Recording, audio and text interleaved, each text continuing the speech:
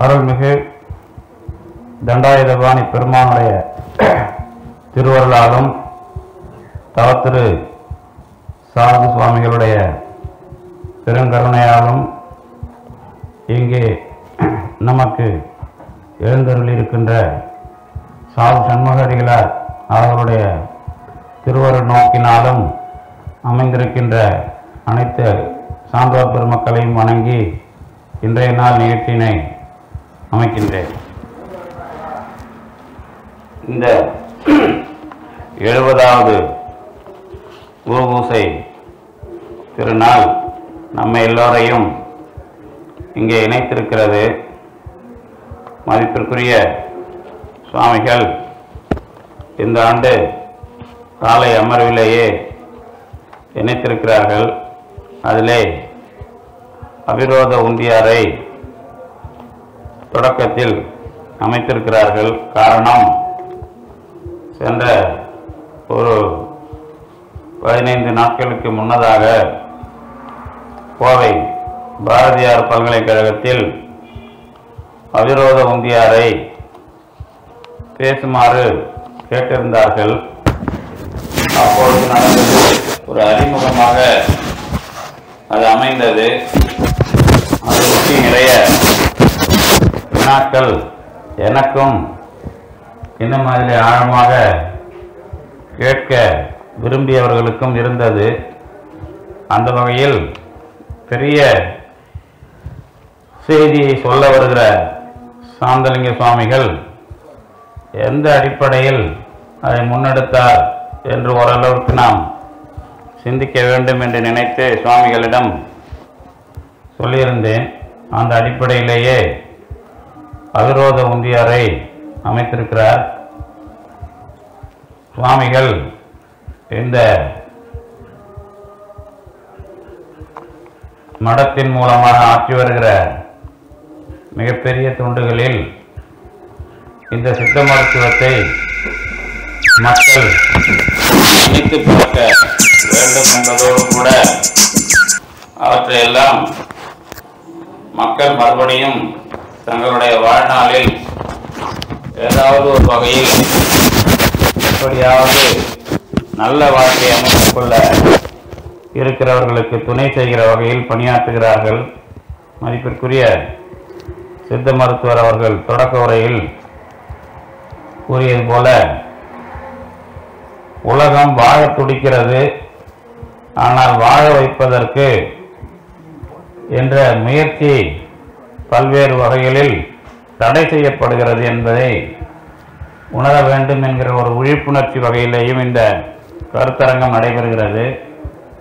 இன்னும் சுவாமிகள் சிலப்பதிகாரத்தை இணைத்து இந்த கருத்தரங்கை இந்த குரு பூசை விழா கருத்தரங்கை அமைத்திருக்கிறார்கள். காரணம் தமிழருடைய வரலாறு ஒரு தொகுத்து பார்க்கப்படுகிற ஒரு தன்மையை பெற்ற ஒரு அமைப்பை சிலப்பதிகாரத்தில் நீங்கள் பார்க்கலாம். சிலப்பதிகாரம்தான் ஒரு மிக பழமையான வரலாறு. தொகுக்கப்பட்டு அடுத்த வரலாற்றை சிந்திப்பதற்கு இடம் தருகிறது. அப்படி ஒரு முடிச்சினை நாம் அதிலே உணர வேண்டும் என்பதற்காக அந்த சிலப்பதிகாரத்தை அமைத்திருக்கிறார்கள். அது சிறப்பாக அமைகிறதா அல்லது மக்கள் உணர்கிறார்களா என்பதை பற்றியெல்லாம் பிறகு பார்த்து கொள்ளலாம். ஆனால் அது பற்றி நாம் சிந்திக்கிறோம் என்கிற வரலாறு மிக கட்டாயமானது என்கிற வகையில் அதை விடாமல் தொடர்ந்து அமைக்கிறார்கள். இந்த வகையில் சித்த மருத்துவத்திற்கும் சிலப்பதிகாரத்திற்குமாக அமைக்கிற இந்த குரு பூசை விழா கருத்தரங்கத்தில் என்னையும் சித்தாந்தம் அல்லது சத் தத்துவம் சார்ந்த சிந்தனைகளோடு அமைத்திருக்கிறார்கள். அவர்களுக்கு நன்றி சொல்லி இன்றைக்கு வந்திருக்கிற இந்த அவிரோத உந்தியாரில் இந்த தலைப்பு சார்ந்திருக்கிற மற்ற சித்த மருத்துவர்களுடைய தலைப்புகள் இணைகிற செய்திதான் சுவாசகாசம் நாடி இந்த அதிக சர்க்கரை என்பதாக தலைப்புகளை அமைத்திருக்கிறார்கள். அவர்கள் முன்னதாக பேசியிருந்தால் நான் என்னுடைய தலைப்பு சார்ந்த விஷயத்தையும் இதில் ஒழுங்குபடுத்தியிருப்பேன்.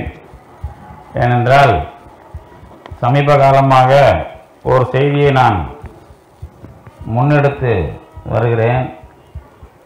இந்த செய்தி என்ன என்றால் இந்த வள்ளல் ராமலிங்க அடிகளாரை வைத்துக்கொண்டு நிறைய பேர் தியானம் செய்வதை வலியுறுத்துகிறார்கள். அது தவறு என்று நான் சொல்லிக்கொண்டு வருகிறேன். வெறுமனே உட்கார்ந்து தியானம் செய்து கொண்டு மரணமில்லா பெருவாழ்வை அடையலாம் என்பதாக உபதேசிக்கிறார்கள். அது தவறு. வெறுமனே இந்த தியானம் என்பது அதை கைகூட்டுமா கூட்டாதா என்கிற ஒரு விவாதத்தில் கண்டிப்பாக தியானம் அதை தராது என்பது என்னுடைய முடிவு. அதை வைத்துக்கொண்டு வியாபாரம் செய்கிற சொற்பொழிவாளர்களை கண்டிக்கிற வகையில்தான் அதையெல்லாம் பேசினேன். நேரடியாக இதை கேட்பதற்கு உங்களுக்கு கொஞ்சம் நெருடலாக இருக்கலாம். அதை அந்த தியான முறையை ஈடுகொடுத்து தொடக்கத்திலே பேசிய ஐயா அவர்கள் நம்முடைய அந்த யோக முறையை மாற்றி வெறுமனே ஒரு உடற்பயிற்சி முறையில் அதை செய்து கொண்டிருக்கிறார்கள் என்பதை எல்லாம் சொல்லுகிறார்கள். அதை புரிந்து கொள்ள வேண்டும் என்பது என்னுடைய நோக்கம். அதற்கான விரிவான சிந்தனையை நீங்கள் தான் அதை இணைத்து செய்ய வேண்டும். ஒரே ஒரு செய்தி இந்த பிராணாயாமம் அதுதான் அதற்கான தலைப்பு. அதாவது தியான முறையெல்லாம் தொகுத்து நீங்கள் பார்த்தால் அதற்கான தலைப்பை பிராணாயாமம் என்பதிலே முடித்து விடலாம். வழக்கமாக அறிஞர்கள் அந்த தியானம் என்பதை எதை சொல்லுகிறார்கள்? இன்றைக்கு யோகம் என்பதாக சொல்லிக் கொள்ளுகிறவர்கள் எதை சொல்லுகிறார்கள் என்பதை எல்லாம் எடுத்து வைத்து ஆராய்ந்து பார்த்தால் இவர்களை இவர்களுடைய ஒரு அரைகுறை விளக்கங்களை எல்லாம் தவிர்ப்பதற்கு திருமூலர் உதவி செய்திருக்கிறார். அவரோடு கூட மிக அதிகமாக உதவி செய்திருக்கிறவர் நம்முடைய சாந்தலிங்க சுவாமிகள். அவர் அந்த அவிரோத உந்தியாரில் மிக தெளிவாக ஒரு சில பாடல்களை அமைத்திருக்கிறார். அந்த பாடலில் ஒன்று இரண்டு பாடல்களை நான் முதல்ல சொல்லிடுறேன். பாவன அதீதம் நினைவு இன்மை. உண்டு எனில் பாவனை ஆகும் என்று உந்தி பன்னூல் கருத்தும் ஈது என்று உந்தி என்று ஒரு பாடலை அமைக்கிறார். அது அறுபத்தி ஒன்பதாவது பாடல். அதற்கு பிறகு எழுபத்தி எழுபது எழுபத்தி ஓராவது பாடல்களை எல்லாம் பார்த்தால் அதில் சில குறிப்பு. பாவன அதீதம் பதியாயிடத்து ஏக பாவனை பற்றி நின்று உந்தி பெற. படுத்தால் ஒழித்திட்டு என்று உந்தி பெற. இந்த இந்த பாடல்கள் எல்லாம் அறிஞர்களுக்கு சிக்கலாக இருக்கிறது யாரும் அதை தொட மாட்டேன்கிறார்கள் என்று மதிப்பிற்குரிய இந்த அறக்கட்டளை வைத்த செல்லாத்தால் அவர்கள் கேட்டார்கள். இது பற்றி இதற்கு உள்ளேயே நேரடியாக உரை விளக்கம் என்பது போல நாம் பேச முடியாது. இருந்தாலும் இன்று உங்களோடு கூட இருக்கிற இந்த அரங்கில் கொஞ்சம் சிந்திக்கலாம். என்ன சிந்திக்கலாம் என்றால் உங்களுக்கெல்லாம் இந்த நாடி பற்றிய தெளிவை அவர்கள் சொல்லுகிறார்கள். நாடி பற்றிய அதுதான் அதை பேசுனதுக்கு காரணம். உங்களுக்கு நாடியை பற்றி என்ன என்ன அளவில் இருக்கிற செய்தியை உங்களுக்கு சொல்லிடுறேன்.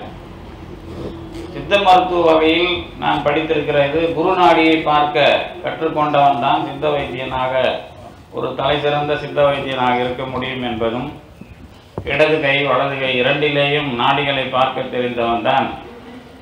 அதனுடைய ஏற்ற இறக்கத்தை வைத்து உணவுப் பொருளை மாற்றி அமைத்து உங்களுடைய உடலை ஆரோக்கியமாக ஆக வைத்திருப்பவன் என்பதாகெல்லாம் படித்திருக்கிறேன். அதெல்லாம் எளிமையாகவும் சென்னை பச்சைப்பெண் கல்லூரி ஒரு பேராசிரியர் ஒரு நல்ல உணவு மருத்துவம் என்ற ஒரு நூல் எழுதியிருப்பார். நீங்கள் அதை பார்த்தால் தெரியும். அதோடு இங்கே இருக்கிற விற்பனர்களுக்கு அது தெரியும். அது இல்லாமல் நாடிகளை சொல்லும் பொழுது பத்து நாடிகளை உங்களுக்கு முதன்மையாக சொல்லுகிறார்கள். இடை பிங்களை சுழுமுனை காந்தாரி அத்தி சிகுவை அலம்புடை புருடன் குகு சங்கினி. இந்த பத்து நாடிகளில் இந்த யோக முறை இந்த பாவனை அடிப்படையில் இருக்கிற ஒரு பத்து செய்தி எட்டு செய்தி அதுதான் வந்து உங்களுக்கு உலக அளவில் பெரிதாக பேசப்படுகிற அட்டாங்க யோகம். இந்த அட்டாங்க யோகத்தில் இயமம் நியமம் ஆசனம் பிராணாயாமம். இந்த பிராணாயாமம் இந்த நான்கு வரை இருக்கிறது தான் உங்களுக்கு காற்றை அடிப்படையாக கொண்டு ஒழுங்குபடுத்துகிற செயல்பாடுகள். அதற்கு பிறகு இருக்கிற பிரத்யாகாரம் தாரணை தியானம் சமாதி இந்த நான்கும் மனத்தை அடிப்படையாக வைத்துக் கொண்டிருக்கிற செயல்பாடுகள். இவை இவத் இது இந்த இந்த முன்னாடி இருப்பது காற்று பின்னாடி இருப்பது ராஜயோகம் என்று அதற்கு பெயர் கொடுக்கிறார்கள். இதெல்லாம் அடிப்படை செய்திகள். நான் ஏன் இதை இந்த முன்னுரையோடு சொல்கிறேன் அப்படின்னா உங்களுக்கு தெரியும். உடம்புல வந்து மொத்தம் நாம் இயங்கும் போது முப்பத்தாறு கருவிகள். இந்த முப்பத்தாறு கருவிகளுக்கும் அறிவு கிடையாது. முப்பத்தாறு கருவிகளுக்கும் அறிவு கிடையாது. அது சிவமாக இருந்தாலும் சரி சக்தியாக இருந்தாலும் சரி ஆனால் அறிவு எப்படி இருக்கிறது என்று கேட்டால் அதை படிக்கும்பொழுது கடவுள் அறிவு இல்லாத மாயையினுடைய காரிய பொருள்களில் அறிவு ஆற்றலை தருவதற்கு தன்னை இணைத்துக் கொள்ளுகிறார். செயலாற்றலை தருவதற்கு தன்னை இணைத்துக் கொள்ளுகிறார். அதுதான் சிவம் சக்தி சதாசிவம் ஈஸ்வரம் சுத்த வித்தைன்னு அஞ்சு சத்துவம் பேர் கொடுப்பான் கடவுளே அறிவு இல்லாத பொருள்களின் மூலமாக அறிவு வருவதற்கும் செயல் இல்லாத பொருட்களில் செயல் வருவதற்குமாக வேலை செய்கிறார். அப்ப கடவுள் அறிவு இல்லாத பொருள்களில் அறிவு வருவதற்கும் செயல் விளங்குவதற்குமாக தன்னை இணைத்துக் கொள்ள வேண்டும். இதுதான் படைப்பு முறை. படைப்பு முறைனா சித்தாந்தம். நாம பேசுறது இப்போ சித்தாந்த முறைப்படி. சங்கரர் எல்லாம் வரமாட்டார் அவர் வந்து படைக்கவே இல்லை அவரை பொறுத்த வரைக்கும். அவரை பொறுத்த வரைக்கும் கயிறுல பாம்பு தெரிகிற மாதிரி இருக்கிற மாதிரி தெரியும். ஆனால் அது இல்லைன்னு சொல்ல முடியாது இருக்குன்னு சொல்ல முடியாது. அப்படின்னு அவர் சொல்லுவார். அவரை வச்சு நீங்க சொல்ல முடியாது. நமக்கு மாயை என்கிற ஒரு பொருள் களிமண் மாதிரியான ஒரு பொருளில் பானை படைக்கப்படுவது போல அறிவு இல்லாத பொருளில் இந்த கருவிகள் படைத்து தரப்படுகின்றன. அப்போ நம்முடைய இந்த மூளையா இருந்தாலும் சரி கண்ணா இருந்தாலும் சரி பார்க்கப்படுகிற எந்த பொருளுக்கும் அறிவு கிடையாது. உங்களை பார்த்தாலும் சரி என்ன பார்த்தாலும் சரி கண்ணால எதை பார்க்கறீங்களோ அந்த பார்க்கப்படுகிற பொருளுக்கு அறிவு கிடையாது. என்ன பார்க்கறீங்க அப்படின்னா என் கண்ணை பார்க்கலாம் கையை பார்க்கலாம் காலை பார்க்கலாம் எதுக்குமே அறிவு கிடையாது. கண்ணின் மூலமாக அறிவு உண்டு. காது மூலமாக கேட்கிற அறிவு உண்டு. ஆனால் காதுக்கு அறிவு கிடையாது. அப்போ காது கண்ணு எதுவா இருந்தாலும் அறிவு வர வேண்டுமானால் அந்த அறிவு தன்மைக்கு ஒரு மென்மை வேண்டும். அந்த மென்மை தன்மையில் அறிவு ஆற்றலையும் செயலாற்றலையும் இணைத்து அதன் மூலமாக அதை விளங்க வைக்கிற தன்மை கடவுளால் வருகிறது. இதுதான் நாம சிவம் சக்தி சதாசிவம் பார்க்கிற அந்த அஞ்சு தத்துவம். இதுக்கப்புறம் நமக்காக இணைக்கிற தத்துவம் தான் காலம் நியதி கலை வித்தை அராகம் குருடன் மாயை அப்படின்னு. ஒரு காலத்தை நியதியை அடிப்படையாக கொண்டு செயலாற்றலை கலை தத்துவத்தின் மூலமாகவும் அறிவு ஆற்றலை வித்தை தத்துவத்தின் மூலமாகவும் விருப்ப ஆற்றலை அராகம் என்கிற தத்துவத்தின் மூலமாகவும் எழுப்பி உங்களுடைய அறிவு செயல்படுவதற்காக குருடனாக உங்களை ஆக்கி உங்களுக்கு மனம் புத்தி சித்தம் அகங்காரம் இணைப்பதற்கு மாயை என்கிற ஒரு தசையை உருவாக்கி அதுக்கு பிறகுதான் மனம் புத்தி சித்தம் இவைகளை இணைக்கிறான். இப்படிதான் வந்து படைப்பு முறையில் கருவிகள் உருவாக்கப்பட்டிருக்கின்றன அப்படின்னு நம்ம படிச்சிருக்கோம். இது சம்பந்தமா அப்புறம் ஐந்து பூதங்களை வைத்துக்கொண்டு மெய்வாய் கண் மூக்கு செவி அதுக்கப்புறம் வாக்கு கால் கை மலவாய் கருவாய். அதோடு சுவை ஒளி ஊறு ஓசை நாட்டம் ஆக மொத்தம் வந்து முப்பத்தாறு தத்துவத்தினுடைய பட்டியல் சொல்லிட்டேன். இதோட இன்னும் அறுபது நுட்பமாக சேர்ப்பாங்க தொண்ணூத்தாறு தத்துவம். இந்த தொண்ணூத்தாறுக்குமே முடிவா சொன்னா அறிவு இல்லாத பொருள்களின் காரியங்கள் அப்படிங்கிறது தான் தெளிவா சொல்லணும். இந்த உடம்புல தியானம் என்பது எந்த மாதிரியானது? பிராணம் என்பது எந்த மாதிரியானது?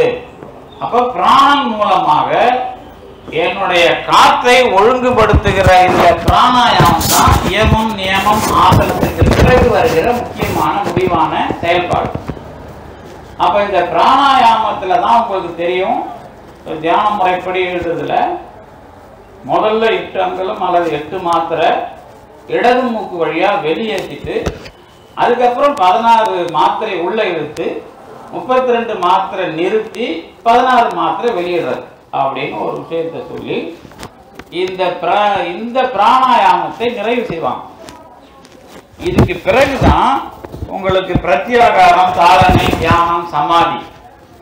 இந்த பிரத்யாகாரம் தொடங்கி என்ன சொல்றாங்க அப்படின்னு கேட்டீங்கன்னா இது வரைக்கும் காற்றை தடுத்து செய்யறது எது வரைக்கும் பிராணாயாமம் வரைக்கும். இந்த பிரத்யாகாரம் தொடங்கி மனத்தை தடுக்கணும் இப்போ. மனத்தை தடுத்து நீங்க செய்யற வேலையில தான் உங்களுக்கு தியானம் சமாதி வரைக்கும் கிடைக்கும்.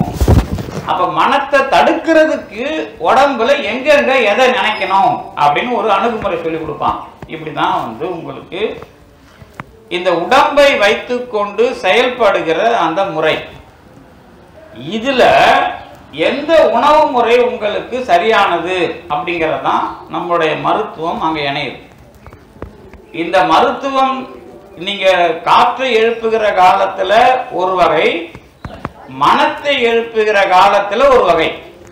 இந்த மனத்தை எழுப்பி மனத்தை நீங்கள் நிறுத்துறது தடை செய்கிறது அதனுடைய ஓட்டத்திலிருந்து தடை செய்கிறது கடைசியாக சித்த விருத்தி நிரோதத்தில் கொண்டு போய் விட்டுருவாங்க. இது இது முடிகிறது ஒரு ஒரு தத்துவத்துக்கும் வேற வேற விளக்கம். இப்ப எதுக்கு இந்த அறிமுகம் அப்படின்னு கேட்டீங்கன்னா உலகத்துல இப்ப நிறைய அமைப்பு இருக்கு. உங்களுக்கு தெரியும் எத்தனை அமைப்பு போனாலும் நீங்க மனசுல கொண்டு வந்துடலாம். அது வந்து இங்க இருக்கிற ஈசாவா இருக்கலாம் அவர் வந்து இன்னும் வேதாந்திரியா இருக்கலாம் அல்லது இன்னும் வாழும் கலை அந்த மாதிரி நிறைய அமைப்புகள். நீங்க எதை வேணாலும் மனசுக்குள்ள கொண்டு வந்துங்க பயிற்சி கொடுக்குற அமைப்புகள். வெளிநாடு உள்நாடு எதுவாக இருந்தாலும் சரி. உங்களை உட்கார வச்சு என்ன சொல்றாங்க? சில பேர் எளிமையா என்ன சொல்லிடுவாங்கன்னா பிரம்மகுமாரிகள் எல்லாம் நீங்க காலையில உட்காந்து எதுவுமே பண்ண தேவையில்ல கடவுளை நினைச்சிங்க அப்படிம்பாங்க. இவங்களுக்கு என்ன கேள்வி அப்படின்னா கடவுள் இங்க என்ன நினைச்சுக்கிட்டா கேட்கறதுலாம் கொடுக்குற ஒரு வேலைக்காரனா? அப்படின்னு கேட்டா அப்படி இல்லை. அந்த த- அந்த பயிற்சி முறைக்கு அதான் பதில். ரெண்டாவது உங்களுக்கு உடற்பயிற்சி முறையை மாத்தி மாத்தி சொல்லி இவங்க சொல்லி கொடுக்குறாங்களா? கடவுளை அனுபவிக்கிறத பத்தி சொல்றாங்களா? அப்படிங்கிறது தான் கேள்வி. கடவுள் அனுபவம் இவர்கள் சொல்லுகிற எந்த முறையிலும் இல்லை இல்லை இல்லவே இல்லை. ஏனென்றால் கடவுளை பத்தி இலக்கணம் சொல்லும்போது என்ன சொல்லுவோம் அப்படின்னா வாக்கு மனங்களுக்கு எட்டாதவன்னு சொல்லி கொடுப்போம். என்ன சொல்லுவோம்? வாக்கு மன அதீதம் தான் சொல்லி கொடுப்போம். அவர் எப்படி நினைச்சா உனக்கு வேலை செய்யறதுக்கு அடியாளா? இல்ல அவருக்கு வந்து எந்த விதமான எத்திக்கும் கிடையாதா? நல்லவன் கெட்டவன் எவனா இருந்தாலும் உட்காந்தா அவருக்கு சூடு பிடிச்சி அவர் கொடுக்கறதுக்கு அவர் என்ன வேலைக்காரா? இதுதான் கேள்வி. என்ன கேள்வினா கடவுள் இன்னும் இன்னும் அதுல வந்து இன்னும் கடவுள் கேவலமா மாறிடுவார். ஏன்னா உலகத்துல இருக்கிற எல்லா அயோக்கியத்தனத்தையும் செஞ்சுட்டு உட்காந்து கடவுளை நினைச்சா கடவுள் வர்றதுக்கு அவர் என்ன எந்த எந்த மாதிரியான ஒரு வேலைக்காரரா இருப்பார் அப்படின்னு ஒரு கேள்வி வச்சீங்கன்னா கண்டிப்பா கடவுளுக்கு உங்க நினைப்பு கண்டிப்பாக ஒரு அறத்தை பின்பற்றி இருக்க வேண்டும். அல்லது என்னுடைய செயல் அன்பாக மாற வேண்டும். இது ரெண்டுமே அதுல கிடையாது. எதுல கிடையாது? உங்களுக்கு உட்கார வைத்து சொல்லிக் கொடுக்கிற அந்த பயிற்சி முறைகள் எல்லாமே காற்றை ஒழுங்குபடுத்துவதால் தான் கேட்கணும். மனசை ஒழுங்குபடுத்துறதுல நீங்க வந்தீங்க அப்படின்னா கண்டிப்பா திருக்குறள் அதை மறுக்கிறது.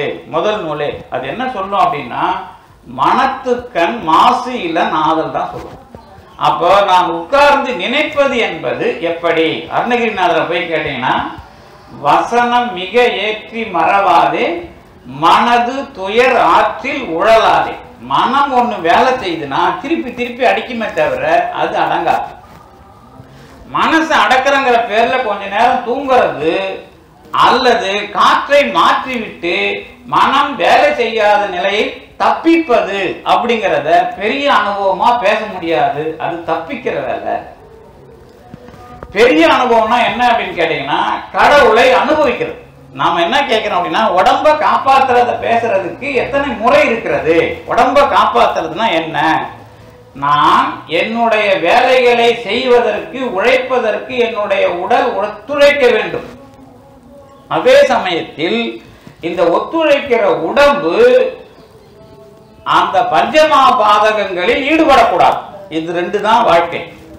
ஒன்று எனக்கு உழைப்புக்கு இந்த உடம்பு உதவ வேண்டும். அது பொய் களவு கள் காமம் கொலையில போய் முடியக்கூடாது. இந்த ரெண்டுத்துக்குமான இடைவெளியில நீங்கள் நல்லா கேட்கணும் பெரிய பெரிய அரசியல்வாதிலாம் நாங்கள் வைக்கிற மாநாட்டுக்கு வருவாங்க. பல்கலைக்கழகத்தில் ஒரு மாநாடு திருமந்திரத்தை பற்றி வைக்கிறோன்னா ஒரு அரசியல்வாதி வருவார். நீங்கள் இந்த திருமூலர் வந்து எவ்வளோ சொல்லிக் கொடுக்குறார் சமுதாயத்துக்கு? அதெல்லாம் வெளிப்படையாக எங்களுக்கு புரியுற மாதிரி சொல்ல மாட்டேங்கன்னுவார் இப்போ நம்ம இந்த மாதிரி எளிமையாக வச்சு அவங்க வர மாட்டாங்க. நாம கேட்போம். திருமூலர் வந்து இந்த பக்கம் படுத்தா இப்படி ஒரு குழந்தை வரும் அந்த பக்கம் படுத்தா அப்படி ஒரு குழந்தை வரும். பொதுவாக இடக்கையில் படுக்கிறது ஏன் வந்து நாடி முறையில் சொல்கிறாங்க அப்படிங்கிறதுலாம் விளக்கம் இருக்குது. ஆனா திருமூலரே என்ன சொல்லுவாருன்னா தம்பி உனக்கு இது இப்படி நடந்தா இந்த உண்மை. ஆனா அப்படி நடக்காது. ஏன் நடக்காதுன்னு கேட்டீங்கன்னா உனக்கு புத்தி வேலை செய்யாது. மயக்கம் தான் வரும். இது இன்னும் அழகா தெளிவா அலசி ஆராய்ச்சி திருவள்ளுவர் தொடக்கத்தில் என்ன சொல்லிட்டாருன்னா அதாவது ஊடுதல் காமத்துக்கு இன்பம் அதற்கு இன்பம் கூடி மயங்க தவிர ஊடுதல் கூடுதல் என்பது மயக்கம் தானே தவிர அங்க அறிவு வேலை செய்யாது அப்படின்னு திருவள்ளுவர் தெளிவா சொல்லிட்டு போயிட்டார். அதனால தான் மலரினும் மெல்லிது காமம் சிலர் அதன் செவ்வி தலைப்படுவர்னு எல்லாரும் வேலைக்கு ஆகாதவன் பட்டம் வேற கொடுத்துட்டு போயிருக்கார். அப்ப மிக தெளிவாக திருமூலர் சொல்லுவதற்குள்ள நாம் பயணப்படணும்னா இது இந்த விளக்கம் சரி ஆனா அதை செய்முறைக்கு எப்படி வரும் அப்படின்னு கேட்டீங்கன்னா தம்பி அது உன் கண்ட்ரோல்ல இல்லப்பா அப்படின்னு சொல்லணும். என்னுடைய ஆளுமையில் எது வரை எது இருக்கிறது? அப்படின்னு ஒரு வினாவுக்கு பதில் அளிச்சிங்கன்னா தான் எதை பெறலாம் அப்படிங்கிறது சொல்றது சரியா இருக்கும். ஒரு சாமியார் வந்து உட்காந்து நீங்க இதை அடையலாம் இங்க புருவ மத்தியிலேயே பார்த்துக்கிட்டு இருங்க அப்படின்னாருன்னா அவர் எதை சொல்றாரு? இப்போ ஒரு உண்மையா பிராணாயாமம் எழுதுறவங்க என்ன சொல்லுவாங்க அப்படின்னா இந்த புருவ மத்திக்குள்ள இந்த வடகலையும் பிங்களையும் சந்திக்கிற நேரத்துல அந்த சந்திப்புல ஒன்று தெ- ஒரு ஒரு கண்ணு மாதிரி ஒரு திறக்கும். அது மூலமா நீங்க பார்க்கலாம் அப்படின்னு ஒரு அமைப்பை வந்து அவங்க பூர்வ மத்தியை வச்சு சொல்றாங்க. இவங்க என்ன பண்றாங்க? இந்த யோக முறை நாம கண்டுபிடிச்ச பிறகுதான் எல்லா சாமிக்கும் மூணு கண்ணு போட ஆரம்பிச்சோம். அது பெண் சாமியா இருந்தாலும் சரி ஆண் சாமியா இருந்தாலும் சரி எல்லா சாமிக்கும் மூணு கண்ணு நாம எப்ப போட்டோம்? உலகத்துல எந்த சாமிக்கும் எவனும் போடல. நாம வந்து மூணு கண்ணு போட்டோம்.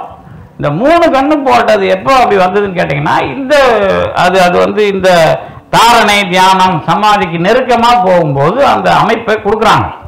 அப்போ இது எல்லாம் எதுக்கு அப்படின்னு கேட்டிங்கன்னா இது எல்லாமே உங்களுக்கு மெட்டீரியல் சப்ஸ்டன்ஸ் தான். மெட்டீரியல்னா இந்த உடல் சார்ந்த இந்த உடல் சார்ந்த எல்லாத்தையும் ஒழுங்குபடுத்துறதுக்கு காற்றும் இன்னும் தெளிவாக சொல்ல போனால் இந்த உடம்பு சார்ந்த வாதம் பித்தம் சிலோத்துமம் என்று சொல்லப்படுகிற இந்த மூன்று இந்த மூன்று சார்ந்த ஆறு சுவை. அதுதான் வந்து வள்ளல் பெருமான் ஆஹ், ஆடையடி பந்து அப்படிங்கிற தலைப்புல ஆறு சுவையை பற்றி பேசியிருப்பார். உங்களுக்கு தெரியும் ஆறு சுவையை வந்து ஒழுங்குபடுத்துறது தான் வாதம் பித்தம் சிலத்துமம். இந்த பக்கம் மூணு இந்த பக்கம் மூணு பார்த்து எந்த சுவை உங்களுக்கு உடம்புல குறைஞ்சிருக்குதுன்னு பார்த்து அந்த சுவைக்கு உரிய உணவை நீங்க மாத்தி போட்டு அது பிறப்பிலேயே மாற்ற முடியலன்னா அப்பதான் வந்து உங்களுக்கு வந்து அந்த சூரணம் சூரணத்துக்கு மேல ஒன்று வருமே என்னது இந்த இரும்புலாம் அது என்னது பஸ்- பஸ்பம். ஆ, அப்போ அதை போட்டு வச்சு மாற்றணும் முதல்ல உணவுல மாத்தணும் அது முடியலன்னா அதுக்கப்புறம் கொஞ்சம் ஆ, மாத்தி அதுக்கப்புறம் தான் அயச்சந்தூரம் இந்த மாதிரியான அமைப்புகளை பயன்படுத்தணும் அப்படின்லாம் சொல்றாங்க. அப்ப என்ன பொருள் அப்படின்னா வாழ்க்கை முறையில இப்ப வந்து ரத்தத்தை பத்தி ஐயா சொன்னாங்க கோரக்கர் நெய்யை வச்சு. இது எல்லாமே உங்களுக்கு இந்த யோகங்கிற பேர்ல சொல்லி ஏமாத்துறதுக்கு யார் இடம் கொடுத்துட்டோம்னா சித்த வைத்தியத்துல இடம் கொடுத்து நாம ஒழுங்கா இருந்தா அவங்களாம் வேலை செஞ்சுக்க மாட்டோம் இதுதான் உண்மை. வாழ்க்கை என்பது மருந்து முறையில் சீராக்கப்பட வேண்டியது. இதுதான் உழைப்பு. உழைப்பு இல்லாத வெட்டி வேலைக்காரன் தான் காலையில் ஊர் பீச்சில் ஓடுறதும் அதுக்கப்புறம் உட்காந்து தியானம் பண்ணுறாள் முதல்ல உழைப்பை மறுக்கிற சமூகம் செய்கிற ஏமாற்று வேலை. முதல்ல உங்களுக்கு நான் இங்கே வந்து வித்தியாசமாக பேசுகிறேன் உண்மையை நாம் எப்படி உணர்றோம் அப்படின்னா தத்துவமே எப்படி தோன்றுது அப்படின்னு கேட்டிங்கன்னா நாம் சொல்கிறது நாம் பேசுகிற இந்த தத்துவம் உழைப்பு சார்ந்தது ஆண் பெண் உரிமை சார்ந்தது. இந்த தத்துவம் தமிழ்நாட்டில் மட்டும்தான் நீங்க பார்க்க முடியும். இதுல என்ன நடந்தது அப்படின்னு கேட்டீங்கன்னா ஒரு மனிதன் உழைப்பை சுரண்டுகிறான். இந்த சுரண்ட மனிதன் உழைப்பை எனக்கு கொடுத்துட்டு அதனுடைய பலனை எதிர்பார்க்காத உன் ஆத்மா பலனை அனுபவிக்கும் சொர்க்கத்துக்கு போய் அனுபவின்னு சொன்னான் பார் ஒரு நூல். அங்க ஏமாத்த ஆரம்பித்தது தான் தத்துவம்னு பேர். ஏன்னா உங்க உடம்புல நீங்க உழைக்கிற உழைப்பெல்லாம் நாங்க பணமாக்கிடுவோம். நீ உயிர் ஒண்ணு போய் மேல சொர்க்கத்தில் அனுபவி உடம்பு வந்து எங்களுக்காக வறுமைப்பட்டு உன் உழைப்பெல்லாம் எனக்கு கொடுத்துரு அப்படிங்கிறப்ப உருவாக்கப்பட்டதுதான் உன்னுடைய ஆத்மா தான் சொர்க்கத்துக்கு போகும் சொன்ன அந்த தத்துவம். இதற்கான முதல் நூல் வந்து பகவத்கீதை. இப்படி தான் உங்களுக்கு ஏமாற்ற ஆரம்பித்தாங்க வெளிநாட்டில் எல்லா நாட்டிலையும் இந்த மாதிரி நூல் உருவாகும். உழைப்பை சுருண்டதுக்கு தத்துவம் பேசுவாங்க. நாம் அப்படி பேசல. எந்தையே ஈசா உடலிடம் கொண்டாய். திருமூலர் அதுக்கு முன்னாடி உடம்பை யான் இருந்து ஓம்புகின்றேன். அப்ப உடம்ப பத்தி பேசி தத்துவம் பேசணும். உடம்புல உழைப்ப வாங்கி வியாபாரம் பேசி உயிர் சொர்க்கத்துக்கு போவோம் சொன்னான் பார். அங்க உங்களை ஏமாத்த ஆரம்பிச்சிட்டான் பேர். இதுக்கு தான் தத்துவத்துக்கும் வாழ்க்கைக்குமான இடைவெளியில புரிஞ்சுக்கணும். அதனாலதான் சைவ சித்தாந்தம் பேசும்போதே சித்த மருத்துவத்தையும் சேர்த்து பேசினாங்க ஒரு காலத்துல. அப்படி இல்லை அப்படின்னா சித்த மருத்துவம் படிக்கிறவங்களுக்கு கண்டிப்பா சைவ சித்தாந்த அடிப்படைகள் ஒரு புத்தகம் இருந்தது. நான் பார்த்துருக்கிறேன் அண்ணா அண்ணா சித்த மருத்துவ அந்த அண்ணா மருந்தகத்துலலாம் அந்த நூல் வந்து போட்டு போவாங்க வாங்கிட்டு போவாங்க. அப்ப இந்த மாதிரி நுட்பத்தை நாம இப்ப பிரிச்சுட்டோம். இதை பிரிச்சது இல்லாம அவங்க சொன்ன மாதிரி எத்தனை தத்துவம் மருந்து தன்மை இருக்கும் ஆயுர்வேதம். நான் காசி இந்து பல்கலைக்கழகத்துல வேலை பார்த்தேன். ஆர்ட்ஸ் ஃபேக்கல்ட்டி சின்ன பில்டிங் தான். அதுக்கு பக்கத்தில் இருக்கிறது ஆயுர்வேதா பில்டிங் அது வந்து ஒரு பத்து இருபது ஏக்கர்ல இருக்கும் அந்த ஆயுர்வேதா பில்டிங் அந்த ஆயுர்வேதாவுக்கு அவங்க கொட்டி கொடுக்குற காசெல்லாம் அவங்க என்ன பண்றாங்க அப்படின்னு கேட்டீங்கன்னா அதனுடைய ரூட்டை வந்து மறந்துடுறாங்க. ரூட்டு தான் சித்த மருத்துவம். அப்ப அதை எப்படி பார்க்குறாங்க அப்படின்னா மொழி விரோதமா பார்க்குறாங்க. நீங்க வட இந்தியாவுக்கு போனீங்கன்னாக்கா தமிழன் எது பண்ணாலும் அவங்களுக்கு கோபம் தான் வரும். அது என்னவோ அவங்களுக்கு அந்த காலத்துலேருந்து ராமன் ராவணன் பிரச்சனையாகவே இருக்கும். இப்போ கூட நீங்கள் நினைக்கிற மாதிரி இப்போ நவராத்திரி போச்சுன்னா நீங்கள் தான் இங்கே லட்சுமி சக்தியெல்லாம் கொண்டாடுறீங்க. அங்கே அப்படி கிடையாது. ராமன் ராவணனை அழிக்கிறது தான் தீபாவளி இருந்தாலும் தான் நவராத்திரியாக இருந்தாலும் தான் எல்லா காலத்திலேயும் தமிழ் விரோத போக்கு வட இந்தியாவில் இருக்கும். அது அதை பற்றி நமக்கு கவலை இல்லை. ஆனால் நம்முடைய மாநிலத்துக்குள்ள நாம் இப்போ தமிழ்நாடு நாள் கொண்டாடுற மாதிரி தமிழ்நாடு மருந்து சித்த மருத்துவ நாள்னு ஒரு நாளை இனிமேல் குரு பூஜை பாம்பந்த நம்ம சாது சுவாமி குரு பூஜை கூட சித்த மருத்துவ நாளாகவே கொண்டாடிடலாம் நீங்கள் ஏன் அப்படின்னு கேட்டிங்கன்னா இது நம்முடைய உரிமையாக வந்து நாம் காட்டுறதுக்கு ஒரு ஒரு ஒரு அடிப்படை. இது இல்லாமல் தான் தத்துவம் பேசி ஏமாத்துறாங்க.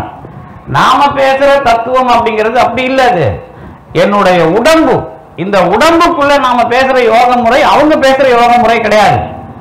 அது ஒரு வேலை அதற்குள்ள பயிற்சி இன்னும் அவர்களுக்கு தெளிவா கிட்டல.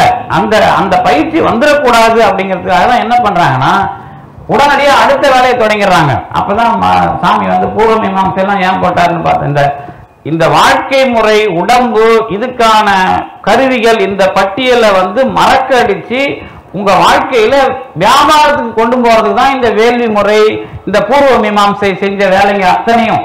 அதுக்கப்புறம் சங்கரர் வந்தார். மொத்தமா உங்க வாழ்க்கைய கனவு உலகமா மாத்திட்டு போயிட்டார். அப்ப இந்த மாதிரியான இருட்டடிப்பு வேலையில தத்துவம் ஈடுபட்டு இருக்கிறது அப்படிங்கிறதுக்குள்ள போய் இதுலயோ தியானம் அப்படிங்கிறத வச்சு கடவுளுக்கான ஒரு வியாபாரமாக கடவுளை பேசி அவர் மூலமா நடக்கிற வியாபாரமா நடத்துறாங்க. இந்த வியாபாரத்திலையும் எவ்வளவு தெளிவு இருக்கிறது அப்படிங்கிறத பேசுனதுல ஒரு மிகப்பெரிய முன்னோடிகள் நமக்கு ரெண்டு பேர் இருக்கிறாங்க. அதுல ஒண்ணு வந்து காழி கண்ணுடைய வல்லல் அடுத்தது நம்ம அவிரோத உந்தியார் எழுதின சாந்தலிங்க சுவாமிகள். இந்த சாந்தலிங்க சுவாமிகள் எழுதுனதுக்கு விளக்கம் எழுதுறதுக்கு ரொம்ப கடினம். இருந்தாலும் கொஞ்சம் அப்படி அந்த சிந்திக்கலாம் தான் அந்த ரெண்டு பாட்டை சொன்னேன். இப்போ நாம் என்ன கேட்குறோம் அப்படின்னு கேட்டிங்கன்னா இந்த உடம்பு முறையில் இருக்கிற இந்த வாழ்க்கைக்குள்ள இந்த தியான முறை அதில் பிராணாயாமம் அப்படிங்கிறதுக்கு மேலே இருக்கிற தியான முறை அப்படின்னு ஒன்று சொல்லிட்டேன். இப்போ அடுத்த ஒரு அடிப்படை ஒன்று சொல்லிடுறேன். என்ன அப்படின்னா உங்களுக்கு தெரியும் நீங்க எல்லாம் படிச்சிருக்கலாம். யோக சிகிச்சைன்னு மாஸ்டர் சுந்தரம் எழுதின நூல். பெங்களூர்ல இருந்து வந்த நூல். அது ஒரு மிக அற்புதமான நூல். அந்த நூல் உங்களுக்கு கிடைச்சதுன்னா வாங்கி படிக்கலாம். அவர் ரொம்ப தெளிவாக நிறைய எழுதுகிறார் அது இப்போ ரீப்ரிண்ட் வந்து கிடைச்சி இக்கின் பாதத்தில் சென்னையிலலாம் கிடைக்குது கொஞ்சம். என்ன அந்த நூலோட முக்கியம் அப்படின்னு கேட்டிங்கன்னா இந்த உடம்ப நான் காப்பாற்றணும் உடம்ப காப்பாற்றுறதுக்கு அவர் யோக சிகிச்சையெல்லாம் நிறைய எழுதுறார். வந்து உடம்புல இருக்கிற பத்து வாயுக்களை நான் வந்து இயக்கணும். இயக்கிறதுக்கு ஆசன முறைகள் சொல்லியிருப்பார். இப்போ என்ன பண்ணணும் அப்படின்னு கேட்டிங்கன்னா நாம் இழுக்கிற மூச்சு காற்றை எழுதுறோம்ல அது பிராணம்னு வந்து அதுக்கா அது உண்மையான பேர் அதுக்கு அது கிடையாது. மூச்சு காற்று தான். உயிர் காற்று அப்படின்னா எது அப்படின்னு கேட்டிங்கன்னா பத்து காற்றுல இந்த பகுதி இதயம் சார்ந்த ஒரு வட்டப்பகுதி போட்டிங்கன்னா அந்த இடத்துல இருக்கிற ஒரு காற்று வந்து பிராணன் இப்போ வயிறு நல்லா செரிக்கணும் அப்படிங்கிறது அபானம்னா அபானம். அப்புறம் உதானம் இருக்குது கூர்மன் இருக்குது ஹரிகரன் இருக்குது கீரி கிரிகரன் இருக்குது இதெல்லாம் ஒரு பத்து வாயுக்களோட பேர் ஒவ்வொன்றுத்துக்கும் நல்ல மலை ஜலம் போகணும். அதுக்கெல்லாம் ஒரு ஒரு காற்று பேர் வைக்கிறோம். இந்த பத்து காற்றுல தலைமையான காற்று வந்து பிராணம். அது வெளியில போய் வர்ற காற்று கிடையாது. இந்த இடத்துல இருக்கிற தலைமையான தூய்மையான காற்று. நாம் இழுக்கிற மூச்சு காற்று நம்ம மனத்தோட தொடர்புல இந்த பிராணம் இயங்கணும். பிராணன் மனத்தை இயக்கணும். இந்த ரெண்டுத்துக்குமான போராட்டத்துல தான் உங்களுக்கு நோய் வரக்கூடாது. இந்த இயக்கம் உள்ளங்கால் குதிகால் அந்த பெருவிரல் எல்லா இடத்துக்கும் ஆக்கிரமிக்கணும். இதில் நல்ல உதவுற ஆசனம் வந்து சவாசனம். மற்றது உங்களுக்கு சர்வாங்காசனம் இதெல்லாம் அதுவாக செய்யும். இது நல்லா புரிஞ்சிக்கிறதுக்கு உதவுற ஆசனம் சவாசனம். உங்க எண்ணம் இந்த பிராணனை மற்ற காற்றுகளை உதச்சி அங்க போய் அது அந்த நோயை வந்து சரி செய்யணும். இப்படிதான் உங்களுக்கு எண்ணம் பிராணனை உதைக்கணும் அப்படிம்பாங்க அவங்க. அல்லது செலுத்தணும்.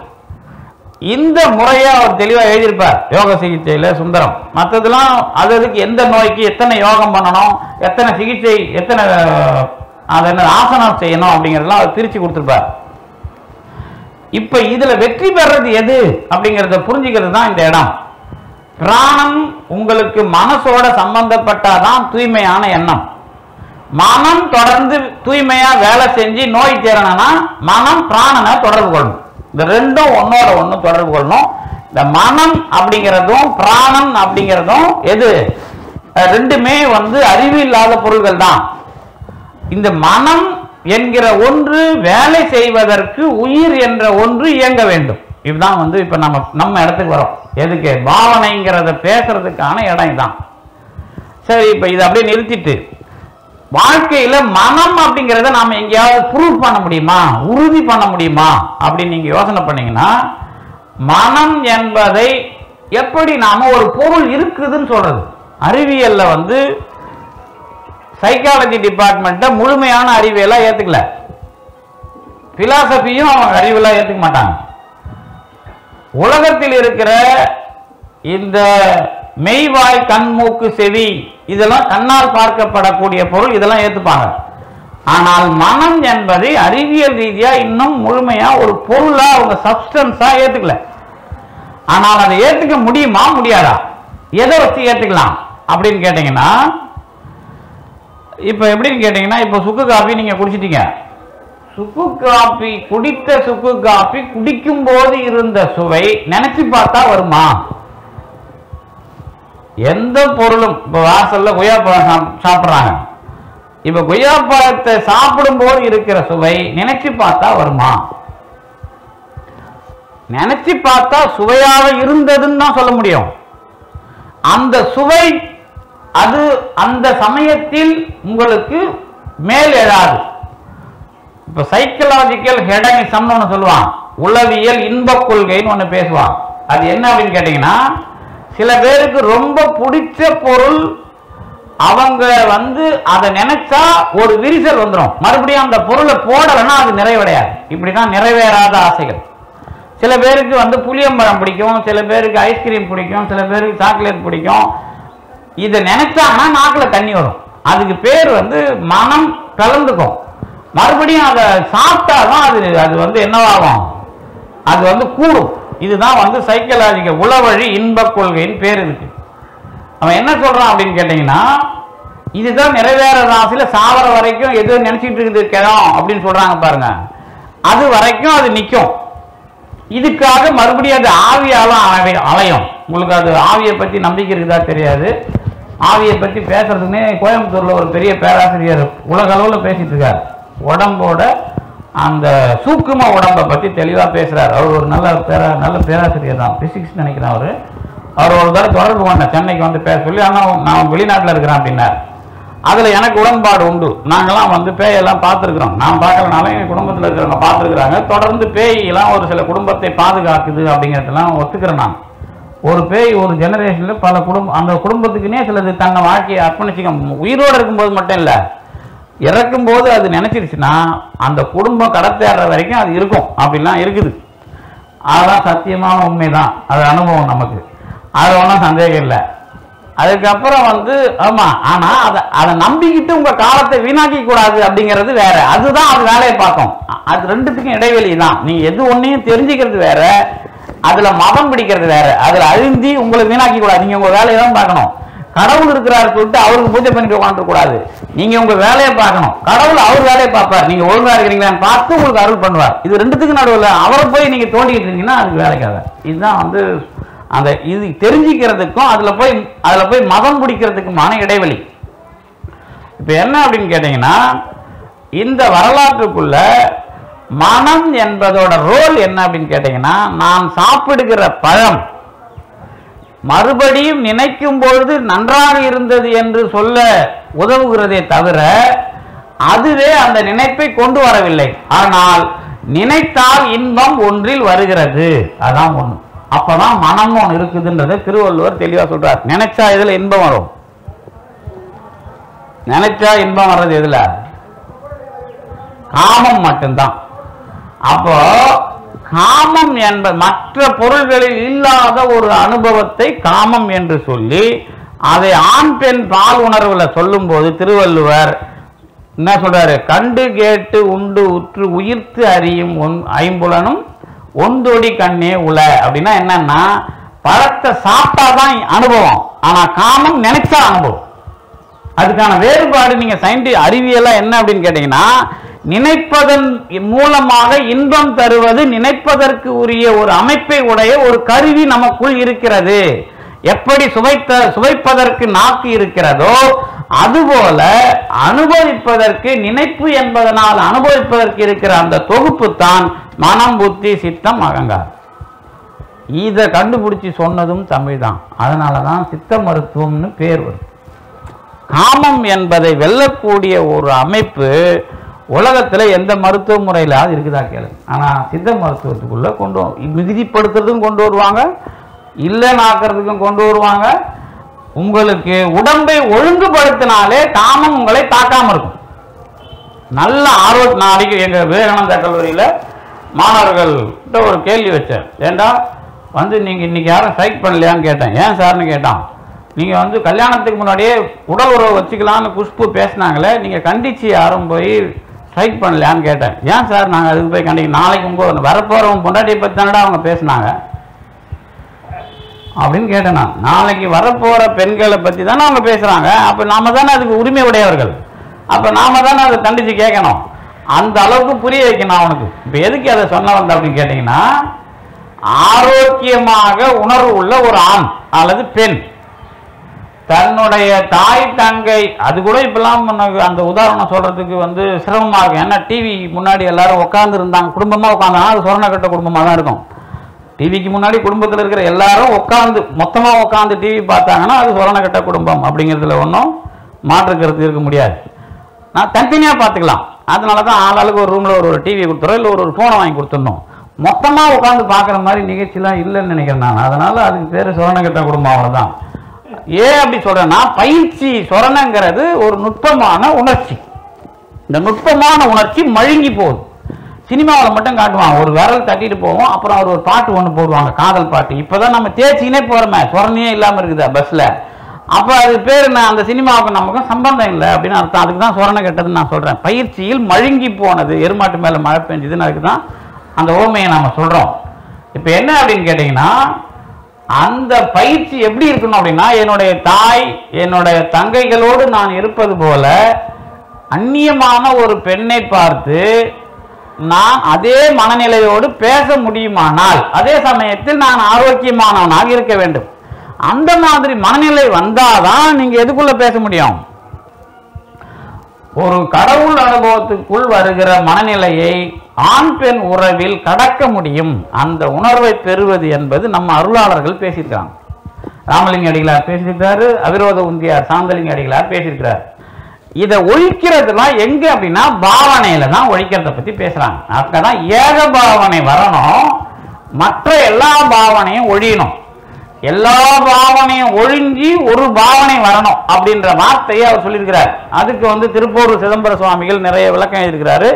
ஆனால் அந்த விளக்கம் மட்டும் போதாது. அதை வந்து நீங்க இன்னும் பல நூல்களை வச்சுக்கிட்டு புரிஞ்சுக்கணும்.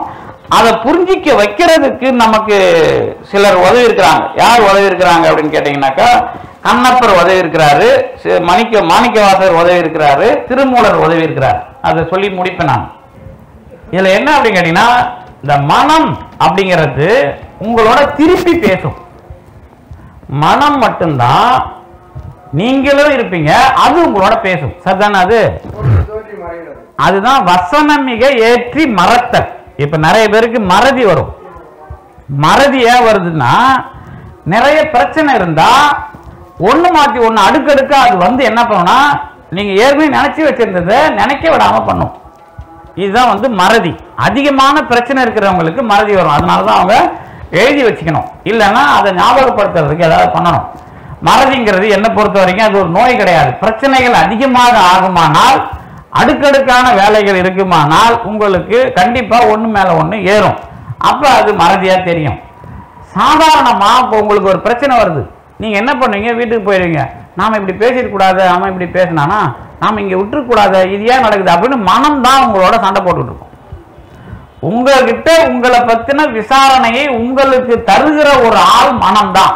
அடுத்த ஆள் தான் அப்புறம் தான் அதனாலதான் மனம் என்பது ஒரு தோழி போல தோழன் போல அப்படின்னு நம்ம இலக்கியத்தில் பார்க்குறோம். இன்னும் என்ன அப்படின்னு கேட்டிங்கன்னா தலைவன் பேசுகிற மாதிரியே தோழன் பேசுவான் தலைவி பேசுகிற மாதிரியே தோழி பேசுவான் சங்க இலக்கியத்தெல்லாம் இப்படிதான். தலைவி தான். ஆனா செய்தி பார்த்தீங்கன்னா தலைவி மாதிரியே இருக்கும். ஆனா பேசுறதெல்லாம் தோழியா இருக்கும். என்ன அப்படின்னு கேட்டீங்கன்னா நீங்க இருக்கிறது ஒரு ஆள் தான் உடம்புல. ரெண்டு பேர் கிடையாது. ஆனால் மனம் ஏன் திருப்பி திருப்பி உங்களோட பேசுது? அந்த மாதிரி ஒரு அதுதான் கண்ணாடியா வைக்கிறோம் நாம மனம் என்னும் கண்ணாடி. ஏன் வைக்கிறோம் அப்படின்னா நாம தான் ஒரிஜினல் உயிர் தான் ஒரிஜினல் ஆனா திரும்பி நம்மளோட நமக்கான வாழ்க்கையை ஒழுங்குபடுத்துவதற்காக உரையாடல்களை தருகிற ஒரு ஆள் தான் மனம். நீங்க ஒன்ன போயிட்டு மறுபடி இந்த அதனால தான் என்ன பண்றாங்கன்னா இந்த மனம் அடங்குறத பத்தி யோசனை பண்றாங்க. மனம் வந்து சித்த விருத்தி நிரோதம் அப்படிம்பாங்க யோக முறையில. நாம சொல்ல மாட்டாங்க. அப்புறம் சித்த பிரஜன்னு பகவத்கீதையில சொல்லுவாங்க. இதெல்லாம் ஏன் சொல்றாங்க அப்படின்னா இந்த மனம் நம்மோடு மோதுவதிலே இருந்து விடுபடுவது அப்படிங்கிறது தான் அவங்களோட நோக்கம். ஆனா நம்மோட நோக்கம் அது கிடையாது. நமக்கு விடுபடுறது அப்படின்னா இன்னைக்கு விடுபட்டுலாம் நாளைக்கு அது பிரச்சனையா வரும். எப்படி சொல்லுங்க பார்ப்போம்? அது ரொம்ப தெளிவா சொன்னவர் திருஞான சம்பந்தர். உய்வினை நாடாது இருப்பது ஊனம். திருநீலகண்ட பதிகம் படிச்சு உங்களுக்கு தெரியும். அதாவது உய்வினை நாடாது இருப்பது உந்தமக்கு ஊனம் அன்றே. கைவினை செய்து எம்பிரான் கடல் போற்றுமின். அவர் என்ன சொல்றாருன்னா உன் வினையில பிறந்திருக்கிற. இந்த வினை நீ தப்பித்தாயானால் நல்லா நினச்சிங்க. எல்லாருக்குமே இதை சொல்லலாம் நீங்க. என்ன சொல்லலாம் அப்படின்னா இந்த பிறப்புல கடுமையா முயற்சி செய்து அடுத்த பிறப்புல நல்லவனா பிறக்கிறதுக்கு நீ திட்டமிடலை அப்படின்னா நீ நல்லதை தெரிஞ்சுக்கிறது கடுமையான நெருக்கடிகளுக்கு உள்ளாவாய். நல்லதை தெரிஞ்சுக்கிறதுனா எப்படி தெரியல நீங்களா தாமலா தெரிஞ்சுக்கவே மாட்டோம். ஒரு நல்லதுக்குள்ள வர்றதுக்கு இப்ப நீங்க விரவி விரவி தள்ளி போடுவீங்க பிரச்சனையில இருந்து தப்பிச்சுக்குவீங்க. ஆனால் கண்டிப்பா அடுத்த பிறப்புல நீங்க தெரிஞ்சே ஆகணுன்ற முடிவு வந்தான்னா கடவுள் உங்களை நெருக்கடி கொடுக்கறதுனா அதுதான் வந்து என்ன சொல்றது எல்லா பிரச்சனையும் மொத்தமா தலையில உழுதும்பான்ல அந்த மாதிரி ஒரு நெருக்கடிக்கு நம்முடைய பிறப்பை ஆக்கி கொள்வதற்கு இடம் தரக்கூடாது. அதுக்கு தான் திருவள்ளுவர் தோன்றில் போவது தோன்றுது அடுத்த பிறப்பு உன்னுடைய திட்டம். இந்த பிறப்பில் நீ அடுத்த பிறப்பில் நல்லவனாக பிறப்பதற்கு எல்லா விதமான முயற்சியும் செய்யணும். அப்படி இல்லைன்னா உனக்கு அடுத்த பிறப்பு குறித்த திட்டம் இல்லாமல் போகாது. அதனாலதான் திருமூலர் என்னை நன்றாக இறைவன் படைத்தான். எப்படி? முன்னை தவத்தினால். முன்னை தவம் செய்யலனா தான் பின்னை பிறப்பு வரும். அந்த பின்னை பிறப்பை அறுப்பதற்கு இந்த பிறப்பில் நீங்கள் ஏதாவது ஒரு வகையில் என்ன பண்ணணும்? உங்களுடைய வேலை திட்டத்தை உங்களுடைய உழைப்பு திட்டத்தை பெற வேண்டும். இந்த உழைப்பு திட்டத்துல தான் என்ன நடக்கும் அப்படின்னு கேட்டீங்கன்னா தெளிவு கிடைக்கும். தப்பிப்பதனால் தெளிவு கிடைக்காது. நீங்கள் போய் வந்து ஒரு சாங்கியம் செய்வதனால் தெளிவு கிடைக்காது. தப்பிக்காம நீங்க என்ன பண்ணணும் அப்படின்னு கேட்டீங்கன்னா தெளிவை பெறுவதற்கு அதற்கு இடம் தர வேண்டும். உழைப்பும் வந்து சேருகிற பிரச்சனைகளில் தெளிவை பெறுவதற்கு இடம் தந்தால் தான் மனம் அடங்குமே தவிர உங்களுக்கு மூச்சு காற்றினால் மனம் அடங்காது. ஏன்னா மனம் என்பது பிறவிகள் தோறும் நீங்கள் சேர்த்து வைத்த அறிவும் எந்த தெளிவை நீங்கள் பெற வேண்டுமோ அதற்கான விதியுமாக புத்தி தத்துவத்தில் இருந்து செயல்பட்டு கொண்டிருக்கிறீர்கள். நம்ம பிறப்போட செயல்பாடு எங்க நடக்குது? இந்த பிறப்பில் உங்களுக்கு வினை எங்கிருந்து தாக்கும் அப்படின்னா மனம் புத்தி சித்தம் அகங்காரம்னு நாலு கருவியை சொல்லுவோம். அந்த மனம் பற்றி சொல்லிட்டேன். ஒன்று இருக்குது அப்படிங்கிறது. அந்த இருக்கிறது நாலு அமைப்பில் தான் இருக்குது. மனம் என்பது புத்தியோட சேர்ந்து புத்தி என்பது சித்தத்தோட சேர்ந்து சித்தம் என்பது அகங்காரத்தோட சேர்ந்து இந்த நாலு தலை பாம்பு தான் நம்ம வாழ்க்கையில் உள்ள இருக்கிற அறிவோட வேலை. இது நாலு தலை பாம்பு. அஞ்சு தலை பாம்பு எதுனா சுவை ஒளி ஊறு ஓசை நாற்றம். அந்த அஞ்சு தலை பாம்பு சுருங்குனா நாலு தலை பாம்புக்குள்ளே வரும். இந்த நாலு தலை பாம்பும் மூணு தலை பாம்புக்குள்ள கலை வித்தை அராகத்தில் வந்து நிற்கும் அது எல்லாம் நமக்குள்ள ஆணவத்தில் வந்து நிற்கும் இப்போ. இது எல்லாமே இப்படி தான் வேலை செய்யுது. இந்த மனம் புத்தி சித்தம் அகங்காரத்தில் நாம மனம் என்பதுதான் உலகப் பொருள்களை நேரடியாக பார்க்கிற ஒரு கருவி. அதுதான் வந்து உங்களுக்கு ரிசீவர் உள்ள வாங்குறவர். நீங்க வேலை செய்யறதுக்கு இயங்கின உடனே எது வேலை செஞ்சுக்கிட்டு இருக்கோம் அப்படின்னு கேட்டீங்கன்னா புத்தி. அந்த புத்தியில தான் உங்களுடைய பழைய வினை போடப்பட்டு இருக்கிறது பழைய வினை போடப்பட்டு இருக்கிற பானை எதுன்னு கேட்டீங்கன்னா புத்தி. நீங்க எதை பார்த்தாலும் உங்களுக்குன்னு ஒரு புத்தி இருக்கும். அது என்ன அப்படின்னா இதுவரை நீங்கள் பெற்றிருக்கிற செயல்பாடுகளில் இருக்கிற தெளிவு. எந்த அளவுக்கு உங்களுக்கு அறியாமை இருக்கிறதோ எந்த அளவிற்கு அறிவில்லாமல் இருக்கிறதோ எந்த அளவிற்கு எதில் தெளிவில்லாமல் இருக்கிறீர்களோ அதற்குத்தான் பிறப்பு. அதை எப்படி கடவுள் கொடுக்கிறார்னா எதை உங்களுக்கு பிறப்பிலிருந்து ஆசைப்பட வைக்கிறாரோ அதற்கான மோதலாகத்தான் பிறப்பு இருக்கும். பிறப்புன்னா என்ன? பேதமை. எதை நீங்கள் சின்ன வயசுல ஆசைப்படுறீங்களோ அதனுடைய நிறைவேற்றுதலில் இருக்கிற மோதல் தான் பிறப்பு. நீங்கள் ஒன்றா எப்படி வேணாலும் பாருங்கள் எனக்கு இருக்கிற ஆசை உங்களுக்கு இருக்காது. அதுதான் உங்களுக்கு பிரச்சனையாக இருக்கும். அந்த பிரச்சனையிலிருந்து வெளியே வர்றதுக்கு கத்துக்கிறதுல தான் தெளிவு. இந்த தெளிவு வராத வரை உங்களுக்கு விடுதலை இல்லை. அப்ப பாவனைனா என்ன அப்படின்னு கேட்டீங்கன்னா இந்த பிரச்சனைகளில் நீங்கள் இருந்து இதிலே விடுபடுவதற்கான தெளிவு. அதற்கு மனத்தை எப்படி பயன்படுத்துவது? இந்த மனத்தை பயன்படுத்துறதுல இதுவரைக்கும் என்ன தெரிஞ்சுக்கிட்டோமோ அது வந்து நிற்கும் அது நின்ன பிறகு அடுத்த பிறப்பிற்கான செயல் வரும். அப்ப என்ன இதுல ஒரு வரலாறு நமக்கு உதவும் கேட்டீங்கன்னா கண்ணப்ப நாயனார் வரலாறு. கண்ணப்ப நாயனார் வரலாற்றை என்ன பண்றாங்க அப்படின்னு கேட்டீங்கன்னா கண்ணப்ப நாயனார் வரலாற்றுல அவருக்கு ஞானம் இல்லை அப்படின்னு சொல்றாங்கல்ல. அப்ப என்ன எழுதுவாங்கன்னா முன்ன பிறப்புல அவருக்கு ஞானம் இருந்து தெளிவடைஞ்சதுனால இப்ப பக்தியில சிறப்பா இருந்தார். அப்ப என்ன முடிவு வரும்னா உங்களுக்கு பக்தி தெளிவான பக்தி வேண்டுமானால் ஏற்கனவே ஞானத்தில் நீங்கள் முடிவு எழுதியிருக்க வேண்டும். இதுதான் கண்ணப்ப நாயனாருடைய வரலாறு. அப்போ கண்ணப்ப நாயனார் வரலாற்றில் ஞானம் பெருசா பக்தி பெருசா நான் பக்திக்கு முன்னாடியே ஞானம் வந்துருக்கும் நீங்கள் பக்தியினால ஞானம் வருதுன்னா அது பொய். அது வட இந்திய மரபு விவேகானந்தர் வரைக்கும் பொய். அவ்வளோதான் தெளிவாக சொன்னான். மிக ஏன்னா நான் சொல்லல மிக தெளிவாக பிராணாயாமம் ஒரு கட்டுரையில் ஒரு நூறு வருஷத்துக்கு முன்னாடி சைவ சித்தாந்த மகா சமாஜத்தினுடைய மாநாட்டில் பேசப்பட்ட ஒரு கட்டுரை. அதில் ரொம்ப தெளிவாக சொல்கிறாங்க இது மட்டும் எழுதுவாங்க இல்லை கண்ணப்ப நாயனாருக்கு தெளிவாக எப்படிப்பா பக்தி வந்தது? நான் முன்னை பிறப்பில் தவம் செஞ்சாருங்க. அப்போ முன்னை பிறப்பில் தவம் செஞ்சு ஞானத்தில் தெளிவடைஞ்சனால பக்தியில் வந்து அவருக்கு குறை வரவில்லை அப்படிங்கிற ஒரு முடிவை அதில் எழுதுறாங்க. அப்போ வெறுமனே நான் பக்தி இல்லை அந்த விளக்கம் வரும்போது அப்போது ஞானம் என்பது இல்லை அதனாலதான் ரொம்ப தெளிவா திருமூலரையும் மாணிக்க வாசகரையும் இணைக்கிறவங்க என்ன பண்றாங்க அப்படின்னு கேட்டீங்கன்னா அன்பே சிவமாய் அமர்ந்திருந்தார் அப்படின்னா அதுக்கு வந்து ஞானம் இல்லை. ஞானத்துக்கெல்லாம் எங்கெங்கெல்லாம் நீங்க போய் என்னென்னலாம் நீங்க உடம்பு பயிற்சி மேற்கொண்டிருந்தாலும் அன்பு சிவமும் இரண்டு என்பர் அறிவிலார் அப்படின்னு சொல்லிடுறார். அறிவு வந்த பிறகு உங்களுக்கான தெளிவு அன்பும் சிவமாய் தெரிந்து அதற்கு பிறகு அன்பை செய்கிற அன்பே சிவமாய் அமர்ந்திருத்தல். அதுதான் அன்பே சிவமாய் யாரும் அறிந்தபின் அன்பே சிவமாய் அமர்ந்திருத்தல் அப்படிங்கிறது தான் உங்களுக்கு பாவனையில் இருக்கிற ஒரு மிகப்பெரிய முடிவு. அந்த முடிவை இவர் எப்படி சொல்லிடுறார்? யாரு? நம்ம அவிரோத உந்தியார் ஆசிரியர்னு கேட்டீங்கன்னா எல்லாம் சிவமே என்று எண்ணினும் நின் போதம் அல்லால் அஃது உண்மை அன்று உந்தி ஆங்கு அது நீங்கிடு என்று உந்தி பெற என்று சொல்லி பாராதி எட்டும் அப்பாலும் எப்பாலுமாய் ஓர் ஜோதியை நின்றது உந்தி உன்னும் வேறில்லை என்று உந்தி பெற. அப்படின்னு அந்த நினைப்புக்கான ஒரு அடிப்படையை நாம் எப்படி பெறுகிறோம் அப்படிங்கிறதுல சொல்றார். அதுக்கு உள்ளதான் நீங்க மாணிக்க வாசகரை வான் கெட்டு அதுக்கப்புறம் தான் கெட்டு ஊன் கெட்டு அதுக்கப்புறம் உயிர் உயிர் கெட்டு உணர்வு கெட்டு அப்புறம் என் உள்ளமும் போய் நான் கெட்டவா பாடி தெல்லேனம் கொட்டுதல் அப்புறம் சித்தமலம் அறிவித்தல் இதெல்லாம் பாவனைக்கு அறுக்கிற முறை. பாவனைங்கிறது எண்ணத்தில் தெளிவில் தொடர்ச்சியாக இருக்கும். எல்லா பாவனையும் நீங்கிய பிறகு அதுதான் நான் கெடுதல். அந்த கெட்ட பிறகு வருகிற கடவுளின் அவர் மூலமான செயல்பாடு. அது இணைந்தால் ஒழிய நீங்கள் கடவுளை அனுபவித்தல் என்று சொல்லுவது எல்லாம் பொய். அப்ப நினைப்பு மார்க்கமாக சொல்லுகிற யோக முறைகள் என்பது கடவுளை அடைவதற்கு அல்ல.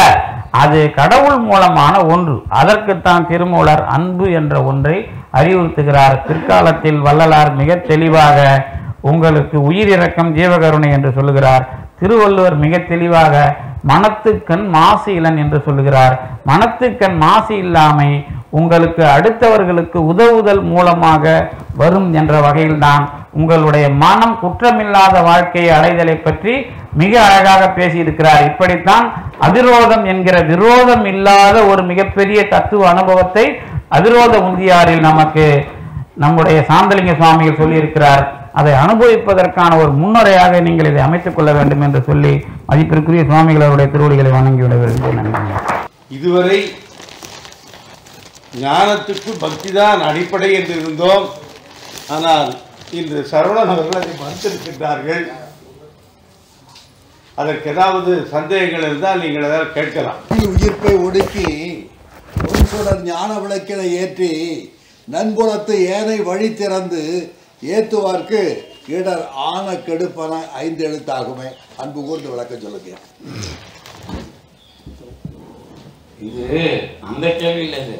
இது வந்து இதுக்கேற்ற கேள்வியாக இருக்கும். அது ஆனாலும் இருந்தாலும் அதை நான் சொல்றேன். அது என்ன அப்படின்னு கேட்டீங்கன்னா இப்ப நாம வந்து இல்ல இல்ல கரெக்டு தான். சொல்லுவோம்.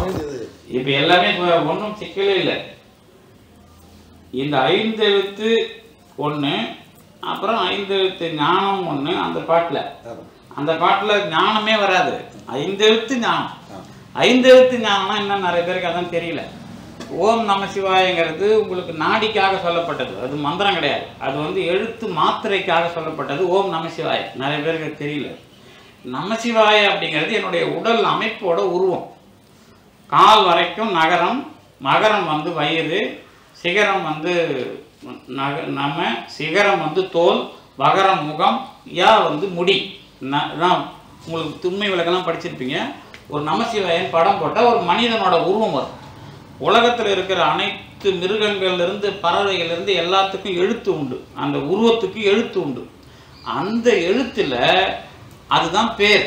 அந்த பேர் தான் நம்ம உடம்புக்கான பேர். முதல்ல எல்லா உயிரினங்களுக்கும் கடவுள் வந்து இப்ப கடைசியா முடிகிற உருவம் எது அப்படின்னு கேட்டீங்கன்னா மனிதர். அதுலேருந்து தான் பேய் அதுலேருந்து தான் தேவர் மனித பாம். இதுதான் முடிவான பாம். முடிவான பாம். இதுக்கு கொடுக்கிற பேர் வந்து நமசிவாய. இந்த நமசிவாய தான் இந்த உருவத்துல தான் கடவுளை நீங்க முதல்ல பார்க்கணும். இதான் நமசிவாய வாழ்க. முதல்ல. அங்க மந்திரமா சொல்லக்கூடாது. மந்திரமா சொன்னா சிவய நம. நீட்டின்லாம் முழங்கக்கூடாது. சிவய நம. அதுல சிவன் அருள் ஆன்மா திரோதம் அப்புறம் மலம் அப்படின்னு அதை விளக்கும் ஐந்து எழுத்தை சொன்னால் கடவுளையும் கடவுள் அருளையும் புரிந்து கொள்ளுகிற பிறவி கிடைக்கும். ஆனால் ஐந்தெழுத்திலேயே உங்களுக்கு என்ன கிடைக்காது? ஐந்தெழுத்தின் மூலமாக இந்த ஐந்து பொருள் உண்மை தெரிந்து அதற்கு மூலமாக நீங்கள் செயல்பட்டு அந்த செயல் மூலமாக பக்தி வந்து அந்த பக்தி உங்களுக்கு கடவுள் என்கிற அன்பை காட்டி அதன் மூலமாக சேர வேண்டும். எல்லாத்தையும் உள்ள புதைச்சி வச்சுருப்போம். இப்போ ட்ராமா எழுதுறவங்க என்ன பண்ணுவோம்? எல்லாத்தையும் நீங்கள் சூ நிகழ்த்தி காட்டினா ஒரு ஆளுடைய பிறப்பை வந்து நம்ம அத்தனை வருஷமாக நடத்தி காட்ட முடியும். ஒரு மணி நேரத்தில் நடத்தி காட்டுற மாதிரி உங்களுக்கு சேர்க்கிறார் பெரிய புராணம் இந்த மாதிரி பாட்டுங்களாம் வழி வந்து ஒரு உண்மையை தெரிஞ்சுக்கிறதுக்கு தான் ஒரு பிறப்பு. பல உண்மையை தெரிஞ்சுக்கணும்னா நிறைய பிரச்சனை அனுபவிக்கணும். பரவாயில்லையா? நீங்கள் யாராவது வாழ்க்கையை சீக்கிரம் கடக்கணும்னு நினச்சிங்கன்னா பிரச்சனை அதிகமாக வரும். அப்போ வேகமாக கடந்தீங்கன்னா வலி அதிகமாக தான் இருக்கும். ஆனால் அது எல்லாரும் விரும்ப மாட்டான். வாழ்க்கையில் ஒரு பிரச்சனை பரவாயில்ல நீங்கள் ஆயிரம் பிறப்பு கூட கடவுள் தர தயாராக இருக்கிறார் அந்த மாதிரி மந்திரம் ஓதுறதுன்னா என்னன்னா நான் அறிவை அடைவதற்கு உரிய பிறப்பு கிடைக்கும். இந்த பிறப்பில் ஒருத்தன் கோயிலே கட்டிக்கிட்டு இருப்பான். ஆனால் கோயில் கட்டுறவனெல்லாம் மதிச்சிருக்க மாட்டான். கோயில் கட்டுறவனுக்கு ஒரு பைசா தானம் கொடுத்துருக்க மாட்டான். கணக்கே பார்த்துருப்பான். அவனுக்கு அடுத்த பொறுப்பு எப்படி கொடுப்போம் நான் கோயில் வாசலில் பிச்சை எடுக்க கொடுப்போம். கோயில் கட்டிட்டான்ட்டு முக்தி எடுக்க விட மாட்டோம் ஏன்னா அடுத்தவன் கோயில் கட்டுற சமயத்தில் எவனையும் மதிக்கலைன்னா என்ன பண்ணுறது கோயில் வாசலில் பிச்சை எடுப்போம். பிச்சை கேட்பானா சாமியை பார்ப்பானா? பிச்சை தான் கேட்பான். பிச்சை எடுக்கிறவன் சாமியை பார்த்தான்னா மிச்சி கொடுத்துருவோம் திருமூலர் என்ன சொல்றாங்கன்னா யான் பெற்ற இன்பம் பெருகை வைக்ககம் யான் பெற்ற இன்பம் பெருகை வைக்ககம் முதல் வரி வான் பற்றி நின்ற மறைபொருள் சொல்லிடேன். கடவுளை காண வேண்டும் என்றால் வான் பற்றி நின்ற மறைபொருள் சொல்லிடேன். ஊன் பற்றி நின்ற உணர்வுறு மந்திரம். ஊன் பற்றி நின்ற உணர்வுறு மந்திரம் தான் பற்ற பற்ற தலைப்படுந்தானே இதுக்கு கொஞ்சம் விளக்கம். அதுதான் இப்போ தொடக்கத்துல ஒரு சின்ன விஷயம் சொன்ன பாருங்க. நம சிவாயம் தான் உடம்பு இருக்குன்ட்டு. இந்த ரொம்ப அழகா ஊன் பற்றி நின்றன்னு சொல்றாரு அவர். ஊன் பற்றி நின்ற உணர்வு. அப்ப ஊன் பற்றி நின்ற உணர்வு மந்திரம். மந்திரம் உணர்வு சார்ந்தது. உணர்வு சார்ந்ததுன்னா உயிர் சார்ந்தது. ஊன் வந்து உடல். இதுக்கு அறிவு கிடையாது. உயிர் வந்து உணர்வுடையது இது ரெண்டும் இணையணும். அதான் அதுல இருக்கிற முக்கியமான கருத்து. இணைய வைக்கிறதுக்கு என்ன பண்ணுவீங்க? அப்படிங்கிறதுக்கு தான் வந்து ஒன்றும் சிக்கலே இல்லை. எல்லா பொருள்களிலும் கடவுளை முதல்ல எப்படி சொல்லுவாங்கன்னா அறிவும் அறிவும் ஆற்றலுமான பொருள் தான் கடவுள். கடவுளை வந்து என்ன பண்ணணும்? நீங்க அருட்பெருஞ்சோதி என்கிற கடவுளா இருந்தாலும் சரி கடவுள்னு ஒன்று சொன்னீங்கன்னா அறிவும் ஆற்றலுமான ஒரே பொருள் தான் கடவுள். அந்த ஒரே பொருளை அறிவு என்கிற அடையாளமாக காட்டும்போது சிவம். ஆற்றல்னு ஒரு அடையாளமாக காட்டிங்கன்னா சக்தி முடிஞ்சு போகுது திருமூலர்லேயே எங்கும் சிவசக்தி எங்கும் திருநட்டம். அது சிதம்பரம் அது சார்ந்து பாடியிருப்பார். அது பார்த்தீங்கன்னா இந்த உண்மையை அதில் இணைச்சிருப்பார். என்ன அப்படின்னா இப்போ இந்த உடம்புலையும் கடவுள் இருக்கிறாரு உயிர்லேயும் கடவுள் இருக்கிறார். அப்படிதானே? கடவுள் இருக்கு இல்லாத இடம் கிடையாது. இந்த உடம்புல அறிவு இல்லாத பொருள்லையும் கடவுள் சிவமா தான் இருக்கிறார். எனக்குள்ளேயும் சிவமா தான் இருக்கிறார். ஆனா எனக்குள்ள வேலை செய்யும் போது நான் தான் அறிவாளி. உயிர் என்பது அறிவுல ஏற்றத்தாழ்வு இருக்கலாம். விளக் அறியாமையிலிருந்து விடுபட்ட அறிவு தெளிவுல ஏற்றத்தாழ்வு எல்லாருக்கும் இருக்கலாம். ஆனால் அறிவு பொருள் தான் உயிர் அல்லது ஆன்மா அல்லது உள்ளம் அப்படிங்கிற பேர்ல உள்ள நாம இதுக்குள்ள இருக்கிற சிவம் அறிவுத்தன்மையால் இணைந்திருக்கும். ஆனா உடம்புல இணைந்திருக்கும் போது ஆற்றலால் இணைந்திருக்கும். ஆற்றல்னா வகாரம். அறிவு என்பது சிகாரம். சிவ என்பது உயிரில் சிவவாகத்தான் இருக்கும் ஆனால் வேலை செய்வது சிகாரம். உடம்பில் சிவவாக இருக்கும் ஆனால் வேலை செய்வது வகாரம். ஏன்னா உடம்பில் மட்டுமல்ல உலகத்தில் இருக்கிற எல்லா பொருள்களிலும் அது அதுவாக இருப்பவர் தான் கடவுள். அவராக இருக்க மாட்டார். அவரா இருக்கிறவர் அருட்பெருஞ்சோதி அது அதுவாக இருக்கிற கடவுள்ல உயிரில் இருக்கிற சிகாரம் வகாரத்தில் இருக்கிற சிகாரத்தை தொடர்பு கண்டால் ஊன் பற்றி நின்ற உணர்வு ஒரு மந்திரம். அப்போ கடவுளை இயக்கணும் நீங்க. நீங்க உடம்புல கடவுளை நீங்களா இயக்க முடியாது. அவரு உங்களுக்குள்ள இயங்கி அவர் இயங்கும் போது உடம்புல அவர் இயங்கணும். அங்கதான் இணைப்பு வரும். நீங்களா இணைக்க முடியாது. இதனாலதான் யோகம் வந்து தடைப்படுதுன்னு நான். வேற ஒண்ணு ஞானமும் அங்க முட்டுப்பட்டோம். சரவணனுடைய பேச்சிலிருந்து கேள்வி வரணும் அவருடைய பேச்சு உங்களுக்கு தெரிஞ்சதெல்லாம் கேட்கக்கூடாது. இது வரைக்கும் என்ன நினைச்சிட்டு இருந்தோம்? ஞானத்துக்கு பக்தி எல்லாம் வழின்னு நினைச்சிட்டு இருந்தோம். எடுத்த உடனே ஞானம் வந்திருக்கு வேணா இந்த நாட்டில் இருக்கிற கோயில்கள்லாம் தேவையில்லை சதியை கண்ணி யோகம் சதியை அந்த இதுல கேள்வி கேட்டா என்னென்னத்தையும் முடிச்சுட்டு கேட்டுருக்க கூடாது ஒரு சரக்குள்ள சரக்குள்ள. அதனாலதான் ரொம்ப அழகா சரியை கிரியை யோகம் ஞானம் அப்புறம் ஞான சரியை ஞான கிரியை ஞான யோகம் ஞான ஞானம். அப்படின்னு சொல்லி சிக்கல் அப்படின்னு கேட்டிங்கன்னா ரொம்ப அழகா இது இங்கே மட்டும் இல்லை ஒரு ஃபிலாசபி இப்போ நாங்கள் சிலபஸ் போடுறோம் யூனிவர்சிட்டியில் இன்னொரு எம்ஏ சைவ சித்தாந்தம் இன்னொரு சைவ சித்தாந்தம். ஏற்கனவே இருக்கிறது கம்பேரிட்டிவ் ரிலீஜன் வச்சுருக்கிறோம். இப்போ ஒன்று போட்டேன் நான். ப்ராக்டிஸ் அண்ட் ஃபிலாசபி சைவ சித்தாந்தான்னு போட்டு போட்டுட்டு தயார் பண்ணியிருக்கிறேன். அடுத்த மாதத்தில் அது முடிஞ்சிடும். அப்புறம் பாடம் நடத்துவோம். அப்போ பக்கத்து டிபார்ட்மெண்ட்டு ஹெச்ஓடி வந்தாங்க. நீங்கள் என்ன நீங்கள் முதல்ல ப்ராக்டிஸ் போடுறீங்க? ஃபிலாசபி தானே ஃபஸ்ட்டு நீங்கள் ஏன் ப்ராக்டிஸ் போடுறீங்க அப்படிங்கிறாங்க. அதான் கேட்குறாங்கல்ல சமையல் கலை தெரியும். எத்தனை சமையல் புக்கு படிச்சுட்டு சமையல் செய்கிறவங்க வெற்றி அடைஞ்சிக்கிறாங்க. சமையல் செய்கிறவங்க யார்? சமையல் செஞ்சால் தான் நீங்கள் வந்து புக்கு எழுத முடியுமே தவிர புக்கு எழுதுறது ஃபிலாசபி சமையல் கலை அப்படிங்கிறது ப்ராக்டிஸ் அதனால தான் நான் அடிக்கடி சொல்லுவேன் அரிசியும் உளுந்தையும் இணைக்க கற்றுக்கிறது தான் பெரிய விஷயம். அதுக்கே உங்களுக்கு ஆயிரம் வருஷம் ஆயிருக்கலாம். எந்த பொருளை எதோட சேர்க்கறது? அதான் நம்ம சித்த மருத்துவம்னு சொல்கிறோம் உலகத்திலேயே காலை உணவு இட்லி செஞ்சவன் இது நம்பர் ஒன்று காலை உணவு அப்படின்னு பட்டம் வாங்கியிருக்கிறோம்.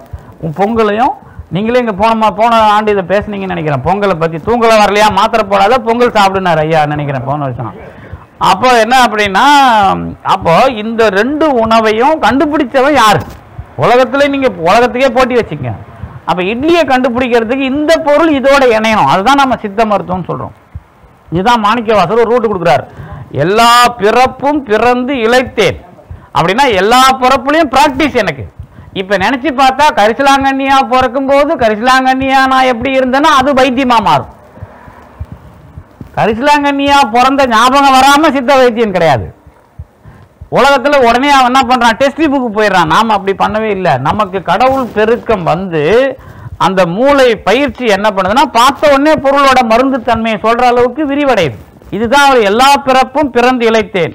இன்னொரு ரகசியத்தையும் யாரும் கண்டுபிடிக்கல. தத்துவத்துக்குள்ள இன்னொரு ரகசியம் என்னன்னா இந்த பிறப்பு திட்டத்துல ஒவ்வொரு பொருள் இப்ப அவங்க சொன்னாங்கல்ல எல்லா பொருளும் மூலிகை தான் நம்ம அப்படி கா- பார்க்குற பார்வை நமக்கு மட்டும்தான் கிடைச்சிருக்குது.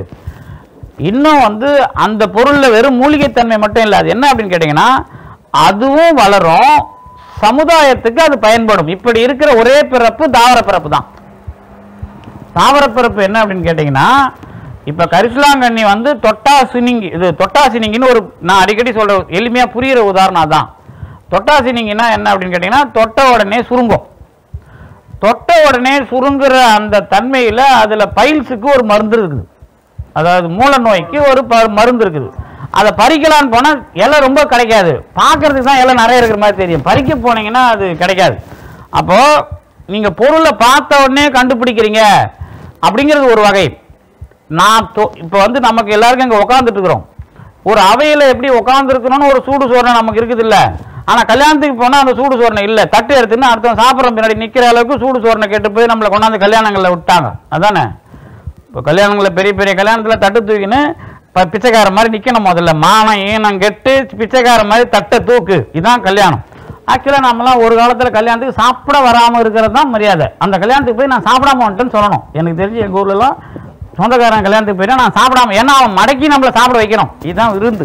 எனக்கு தெரிஞ்சு நான் உண்மையிலே சின்ன வயசில் எங்கள் வீட்டில் நான் திருமணத்துக்கு போயிட்டா அவங்க கண்ணில் மாட்டி சாப்பிடாம வந்தால் கெத்து.